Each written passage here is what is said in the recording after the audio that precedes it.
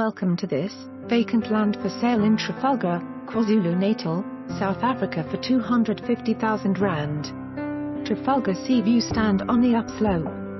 The property is 1199 square meters in extent and it has wide-angle sea views in front.